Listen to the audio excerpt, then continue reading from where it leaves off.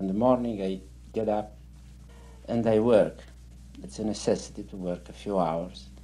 And drawing is my uh, way of um, explaining to myself what goes on in my mind. I start with the idea of a drawing. I have the appetite to make a drawing. I have everything looking at me paper, ink, pencils, and so on.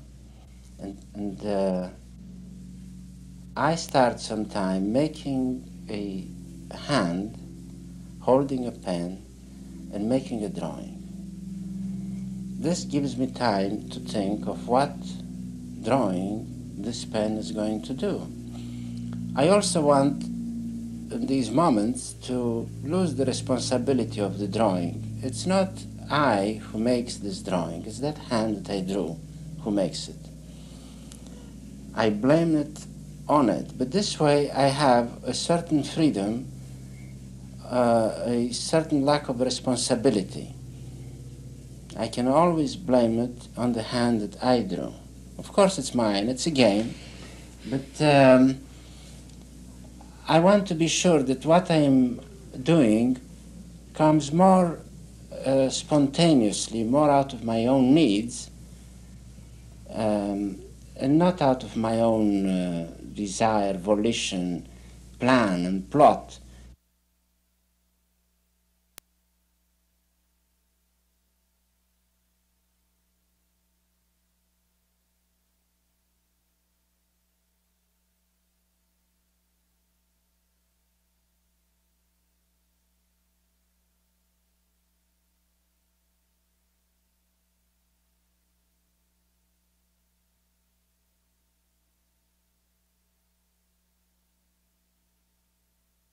I think it's very important for people to run away from home. And if the running away is obliged,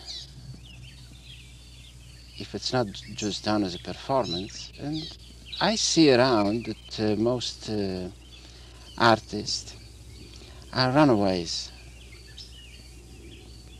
From what? From whatever they had from their own coordinates, from their uh, from this main street, from the uh, family, from the culture, from the um, um, from the society that produced them. Uh, society produces only predictable things, uh, like a computer sensors living in, in America, it's not like living in a country, it's a continent. And uh, so that one can travel geographically, one can travel socially, economically, one can, can impersonate several degrees of uh, forms of life uh, in society, I mean, political life. Um, this way I have the illusion of constant immigration the immigration from one class to another, the uh, immigration from one city or state to another, one climate to another. These are shocking things. In the middle of the winter, I can go to Florida and I find myself in tropical weather. So that I become uh, remote from the big danger that is the main street and I still search in America these possibilities of uh, changes because the moment I have to learn something new, like new habits, new languages, new uh, coordinates, I myself have something like a rebirth. I um, become, I reduce myself to the lowest denominator, and this is very healthy for an artist to start all over again. One then gets in touch with the original poetry of uh, uh, his tender times, with uh, his beginnings. One becomes again a peasant, a desperado. And this is very healthy.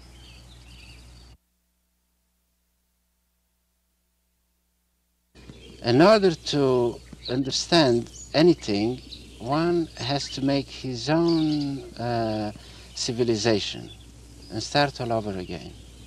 And this is done by running away, by immigration, by inside immigration.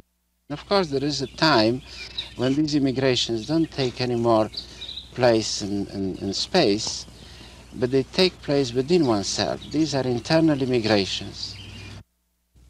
As long as I live in the city, uh, I'm bound to, to see things that uh, are uh, home, uh, uh, well, man-made, they are manufactured. It means that uh, the nature um, exists outside ourselves. Of course, it's true, but uh, there is one time when we become part of nature, even if we are not living in nature. And this has to do with concentrating on our uh, truthfulness. My purpose is to make, uh, transform an idea that I have into a drawing. And I'm not so preoccupied by uh, the outside world, I'm preoccupied with my own inside world. And I find these symbols that fulfill, that uh, explain, that are useful for my uh, uh, work. That I can only draw what I can draw. There are certain things that I can't draw and I refuse to draw, they are not my luggage. And I try to use, in other words, a very poor alphabet for expressing ideas that may be very complicated. And this is the nearest thing to uh, poetry, where common words are used in order to explain very complicated, very complex things. This drawing represents a room that contains the inventory of one's knowledge, a certain inventory at a certain moment, furniture, a bed, a erotic bed. There is an affair going on between a pyramid and the rainbow. Um, the bed represents history, and um, these are symbols that uh, go on through history. The, uh, this constant affair between the rainbow and the pyramid. Is it going to work out? Are they the same kind of thing? They are both connected by the uh, nearness of their artificiality. The pyramid is the highest form of uh, human achievement in architecture, and the rainbow, that still being nature, has something artificial about it, mm-hmm. so that it looks like it's man-made. This nearness between these two things make them uh, uh, be in bed together. What's interesting is that those the two shapes that are in bed in a, what would be normally considered a very private act have all of this company with them. Oh, there is always company whenever uh, there is no moment when one is alone. One carries these suitcases that represents uh, these suitcases are one's past, uh, one's life, one's knowledge. Now, I think that the idea was to make an inventory to have an inventory. It was the end of a period. And I thought uh, this idea of transforming uh, ideas into drawings um, was necessary. And I can't draw abstractions. I have to make drawings of things that uh, I know. I know these cabinets and I furnish them. all sorts of uh, abstractions like numbers and so on. This is how a day or a life goes. It's the accumulation of um, materials that we have. And this is our luggage, time and space and history and geography and our own life. I use numbers as drawings. Number four is very uh, Gothic, very restrained, very geometric. Cats and dogs, being domesticated, being near people, are people. They become interesting because they are clowns, they clown people. Dogs with their black olives for a nose, with the eyes that are human. Actually, they represent types of people. You have, uh, or style of behavior of people. You have brutal, clumsy animals, and then you have delicate. You have um, moronic animals. Now, there is something more uh, clever and more philosophical about the cat. The cat probably represents the uh, artist who's also not uh, involved in the life that surrounds him. He passes through life and is not committed to uh, the people around him. The cat is, is known to be antisocial. This is the idea that something that was said, it's not what was said exactly, but what we understood. So we give life to this statement that it's so important, it stays with us, something that we know. It's the essence of our knowledge. And our knowledge, it's just as touchable, just as important as a, uh, an apple or a bottle or other, other traditional objects of the still life. What interests us about the record is the combination of black and shiny, the reflections. We are addicted to it. We start watering when we see it, like the Pavlov's dogs. And we think of it in terms of music, in terms of pleasures. But this is the ghost or the mask of uh, pleasures. And uh, I guess this is in the end how we, how art was born. It uh, crystallized emotions. Uh, the original art or religion, uh, I imagine, came out of desire, the desire to exercise an emotion, like fear or pleasure. Now, to,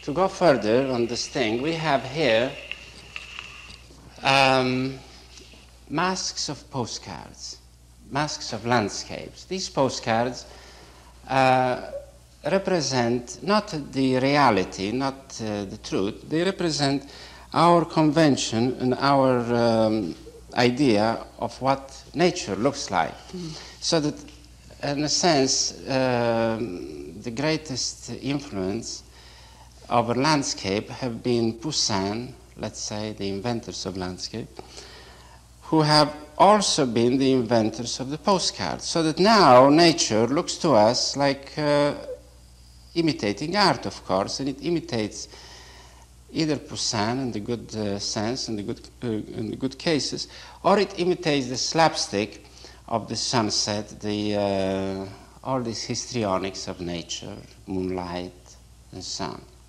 Now, the way I do it is to solve this thing with just two or three brush strokes. I then cut them and mail them sometime, or I, I enjoy making them. It's some sort of obsession, the obsession that came recently. I'll, I'll get rid of it fast, I hope. What do you mean? You ma- do you mail them to people? Do you mail them just anywhere, just out? Yes, I mail them to people. I mail them to myself in order to prove to myself that these things have become a reality. I made them and I mailed them and I received them. What about the writing on, on the postcards here and on a lot of the drawings? It looks like script of some kind, but there are no words. Well, this is invented writing uh, it amounts to the fact that we read often things and we think we understood, but we didn't. So that uh, it's just as well that we go through the ceremonial of uh, reading uh, without understanding. And uh, I invented for this reason this form of writing that obviously doesn't say anything in order to prove that uh, the essential thing about writing, it's not the understanding, but the, the pleasure of reading. We have traditionally masks that were uh, caused by nations or by uh, social class and so on. Let's say we have masks of Englishmen, the American mask. We have the uh, masks of poor and the mask of rich. But uh, there is a mask of the character of people and this, of course, it's constantly done by uh, people in, what, in every society in order to uh, function within the society without having to reveal themselves, because the revelation is antisocial. The revelation is what's called a personal remark. The emotion, the visible emotion, has no place in society. And of course, there is something that it's useful, it's necessary, but it's also something ugly because it takes away all the poetry and spontaneity of life away from people. The more organized the society, the more you have these masks masks of happiness, masks of um, uh, youth, or masks of old age, and so on. Do you think people's masks actually show something about what they are really thinking about or what they really feel, or is it simply put on They- automatically? They represent what they are supposed to be, and they are part of the computer system. If uh, you don't fit in certain categories, you are out and you only confuse the computers by inventing a new category and so on. If every man puts on his real face, there wouldn't be any possibility for the computer to, to perform. Do you think that women wear masks? Mr. Steinberg, they put makeup on. That's a kind of mask, isn't it? Yes, well, that's simple matter, but they also have, when they are in society, when they are with other people, they put on a uh, constant expression. They have invented this uh, rectangular smile. They have invented the uh, octagonal or the several other geometric forms of mouth and eyes and so on. And uh, it's a steady mask uh, representing amusement, happiness, contentment. They don't want to. they don't want to appear. Uh, that there is something else besides this very little bit they give, this one percent or less of their personality. And this is their public appearance. This is their political mask. Now, women used to be uh, traditionally the uh, peasants, the mujiks, the uh, poetic part of the uh, society. The men were more involved in parading beards and mustaches and camouflaging themselves with armor and with uniforms and so on. And women, uh, when they put on masks, they imitated, like nature, they imitated art. Now, unfortunately, uh, women imitate photography so that they uh, look like uh, they come out of fashion magazines and out of Playboy magazines, and this is a disgrace because there is such a variety in the world, and why should uh, women appear to be of four or five uh, Types. types only? It's ridiculous. Well, now I have here a few masks. I'll try them on you. The, uh, this mask here is a mask of uh, a, I call this mask the Sleeping Beauty. This is the, uh, let me see, very nice. A uh, person defined, a young girl defined by her shadows. She's not, she's a statue, she's a, a, a there is a coldness and a uh, lack of formation, a lack of character in herself. And this is the original mask, the mask of adolescence, the mask of uh, uh, noble adolescence, if you want, the uh, animal mask. Now, here is a mask of uh, a leering teenager who imitates comic strip characters, or let me see it again. Very good. The, uh, you notice the this is an American mask. This is a I feel American in it, yeah. a um, the typical, the essential thing of the American mask is the disappearance of the nose. The nose being, uh, in reality, a very uh, um, um, eloquent part of our body. Why does the nose disappear in a mask? People don't like their noses. The nose tells too much. The nose is the only part of the body that still remains anti-social. the nose reveals exactly who we are. The eyes have learned the, all the tricks of conversation, and of hiding, of misleading, and so on. Also, the mouth. the mouth laughs and smiles for no reason at all, out of politeness. But the nose is the only static part in our body. Well, the professor now is going to demonstrate the nose. Uh, let's see. I have, I'm going to make a mask of the nose now, here, for myself.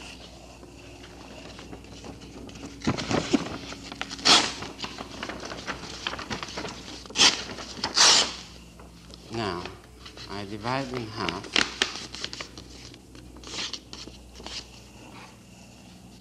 I cut a space for the nose. Reasonable. Now, let's make the symmetry. The eye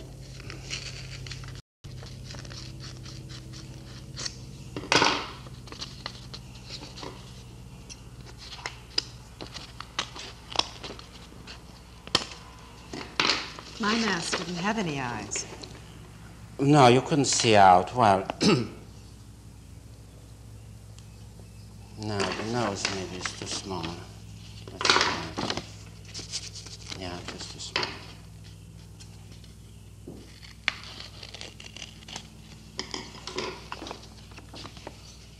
No, here's my mask.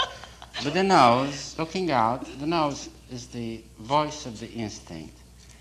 He looks out, he needs to be seen, and this gives a reality to the whole face. Does it, is it necessary that the whole face be covered then and just the nose sticking out like that? That's true. Uh, well, the nose has to come out for air, has to see.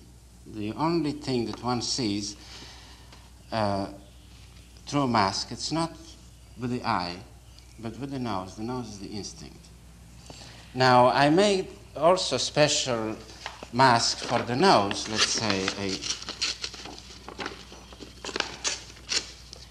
mask where the rest of the face is perfectly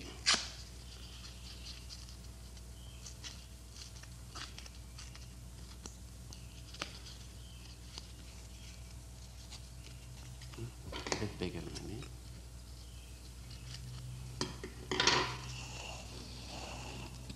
Eyes. Now, this is the mask of the nose as a personage. Nose is our ancestor, is the true animal in us, and by the nose I mean it's not. It's, there is even the expression that one has nose. It's the, the um, it's the instinct. The reason I make a mask for myself was that I want to have this privacy of being able to talk without revealing anything about myself. And it's done occasionally. Uh, I dress in a certain way uh, in the evening. That's a mask of a body. And I put a uh, smile of benevolence, of uh, contentment. That's my mask of the face for the occasion. But I know that this is something that is temporary and it's going to disappear as soon as I am alone again. Does invisibility mean freedom? Sure. Sure. It's the only way to, to be free is uh, invisibility. How does a, a person manage that in a, say, not outside of a huge metropolis like New York City? Is this only possible by, again, escaping into yourself, as you said? It's possible only in New York or in, that prophet, in the prophetic quality one finds oneself during in the beginning of an immigration. That's when one again is alone. The other thing, being alone on purpose, um, in a place where you really have to make an effort to be alone, like here in the country, I would have to make a great effort to stay alone. Uh, that would be ridiculous. It would lead nowhere. It's like going up on a tree and staying up on a tree and hiding yourself, yourself from the world. Um, in the country, it's impossible to be alone. You are in constant touch with neighbors and friends. But um, Isn't that important? Is, aren't love and affection important? Of course they are, of course they are, but they don't come from society. One has one or two friends the most, one has, uh, one loves somebody, and one has an abstract idea of loving everybody, including uh, animals, remote people in remote countries. But um I don't believe in having buddies and cronies. Um, Is this because you like the end of it. solitude? I don't like solitude, not at all. I, I like solitude when I work, but in the evening I like uh, friends. What about the creation of beauty? Um, people usually associate artists with beauty. Do you think of beauty when you create something? I think of beauty all the time, and when I create something, I don't think of beauty for sure. I think of what I have to do, of what I want to do, but beauty is remote. What is beauty? I don't know what beauty is. Beauty is an emotion, and it's certainly a uh, thing that it's remote from art or for, from, from work.